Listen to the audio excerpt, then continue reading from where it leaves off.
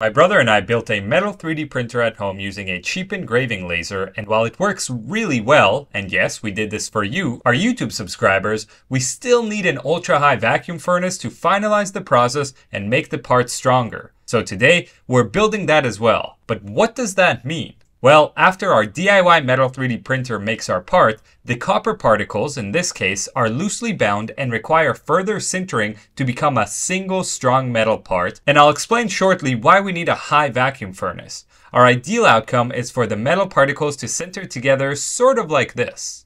We're giving away for free five of our prototype metal 3D printers to anyone who's willing to advertise them on their social media feel free to reach out to us at bix.co to take advantage of this opportunity. Alright, well what we really need for this project is one, a vacuum chamber that can sustain ultra high vacuum, not just your conventional epoxy degassing chambers. And step two is to put a furnace in there that could heat up to temperatures that will melt most common metals. To start, I found this huge vacuum chamber on eBay that might work. This massive chamber is coming from a company in Silicon Valley, which is where I'm going to place a huge warning sign. Silicon Valley companies can often work on things like semiconductors or thin film deposition, which can leave behind residues of arsenics, beryllium compounds, and many other dangerous options. I don't know what this was used for, but looking inside, it's clearly covered in some metal that vaporized and was deposited in the chamber. So how do I find out whether this is going to kill me or not? Well, clearly I'm still alive, so it wasn't toxic. Just kidding. The process of finding out what elements something is made of is called elemental analysis. All I need is a flake of our sample material. This flake is placed on a graphite tape holder and placed into the machine. This EDS machine is then closed and takes just a few minutes to investigate the sample very close up. Seriously, look how close we are. And when done, it spits out a graph that shows all of the elements in the sample.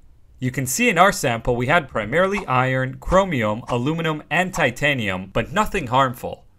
Looking at this chart gives me confidence to proceed. So I managed to bring the vacuum chamber back to my garage safely. Me and Alan are going to try and pull this out, and once we have it far enough, we're going to attempt to hoist it up with an engine crane, and then somehow get it to the workshop. So let's get started. The boss came out to help as always, so thank you, boss.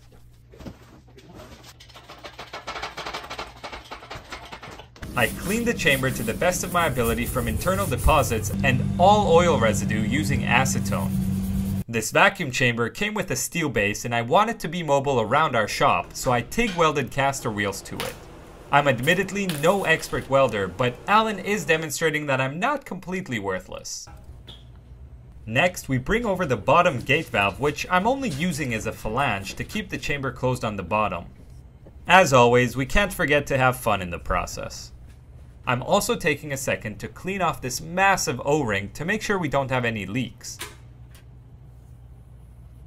Now for the fun part. We bring the main chamber over, hover it on top, and use these bolts I got from McMaster to align the two parts. And then, we can drop the chamber down.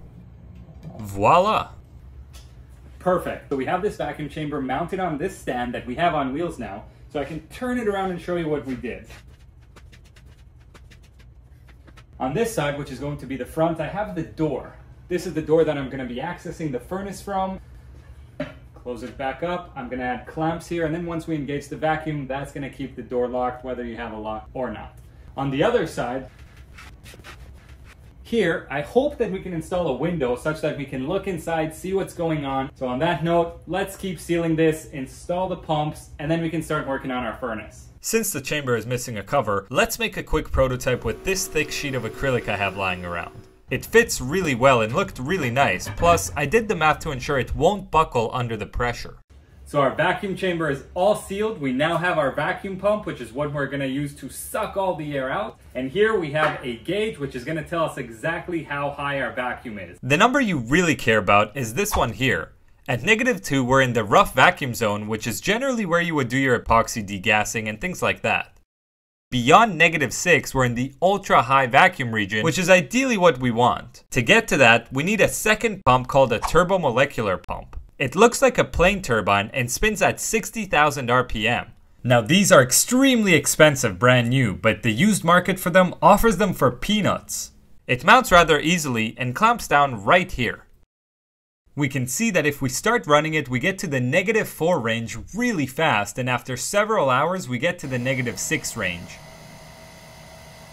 Perfect! Step 1 of our project is done, and we have an ultra high vacuum chamber. So let's move on to step 2 and design a custom furnace. We start by using our CAD program to design a chamber with three layers, which I'll explain in a moment, and then we cut all relevant parts on a plasma cutter. These are all cut out of 304 stainless steel, and after we had three layers of all six sides of the box, we were ready to pull out that welder again, which I'm so bad at using. First, confession. I don't have a real welding table, so I'm gonna have to improvise and use this desk. Sometimes you have to move forward with whatever you have access to, and after a few simple spot welds, I was done the first layer. For your understanding, here's how I'm attaching the three layers together to avoid heat traveling from the inside to the outside due to conduction. I'm using these ceramic beads between layers and a screw to clamp everything down, but note the screw sits on a ceramic spacer as well to avoid the metallic contact between the inside and the outside. And voila! We have three layers of heat shields. Since vacuum is a perfect insulator, heat can only transfer inside via radiation because there is no air to heat up. This is also one of the reasons that a vacuum furnace can get way hotter than a normal smelting kiln, because it heats up at the same rate but it cools down much slower. So with that said, here's the furnace when it's closed. It has three layers that reflect the heat radiated outwards, back inside towards the center. I also just noticed that I can't open this once it's closed, so I quickly milled out these handles out of stainless steel and welded them on.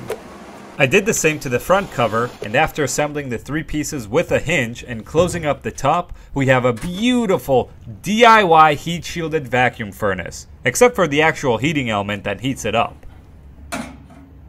Nichrome heating elements are less than 10 bucks online and can handle about 2100 F, which for me is a good start, but note that the electrical wires are touching the steel cage, which is a recipe for disaster. So I cut up two ceramic tubes with a diamond blade and inserted them into holes that we designed.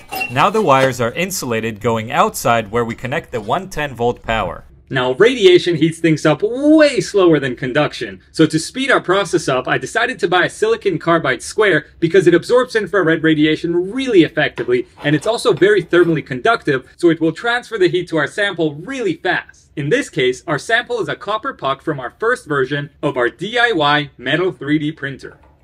Now I install a thermocouple shielded with ceramic beads right onto the silicon carbide so we can keep track of the internal temperature of our sample and that's it. We're done and ready to place this entire contraption into our vacuum chamber.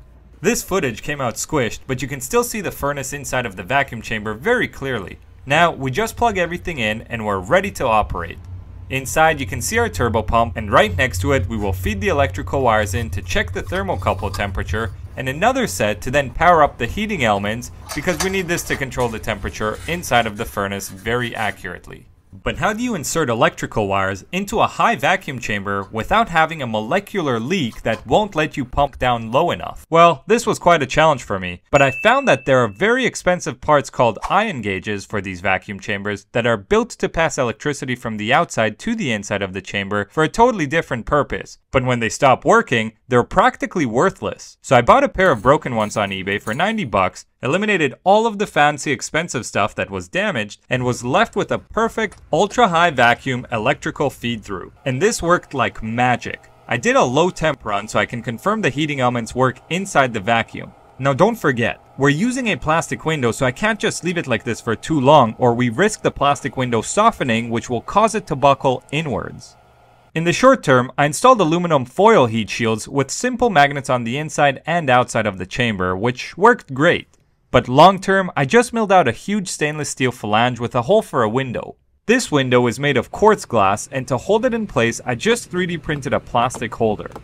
I used an O-ring to create the vacuum seal and also added this neat little window cover operated by magnets so I can look inside whenever I want to while not having the window exposed to the insane heat constantly. I hacked this together really quickly so it looks bad, it works perfectly, and here's how it is on the inside. Since quartz glass is so resistant to heat, we can really crank up the temperature in here now.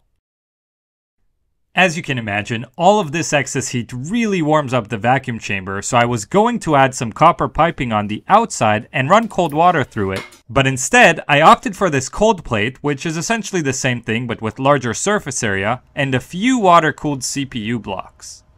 And with that, the vacuum furnace is done. So why vacuum and why furnace? Well, the furnace is needed in order to sinter the poorly bonded powder coming off of our DIY Metal 3D printer. Sintering again is when we cause the surface of the particles to melt momentarily and fuse together. But why the vacuum? Well, there's an Ellingham chart of element oxidation reactions from MIT which shows what temperature and pressure you need in order to remove the oxide from the metal. As long as our temperature and pressure intersects below the line of the specific metal, the oxygen will come off of the metal and without the oxides the metal sinters very easily just below the melting temperature. To achieve this for copper, you can see that we need a temperature of roughly 1070 degrees Celsius at a pressure of 10 to the minus 4 torr or lower. So in other words, not only do we sinter our copper, we also purify it in the process, which is why the dirty oxidized samples that go in come out looking like pure shiny copper we want to start a Kickstarter for our DIY Metal 3D printer if there's enough interest. So let us know in the comments and also share this with anyone who may be interested in that Metal 3D printer. And we'll see you next time at the Action Box.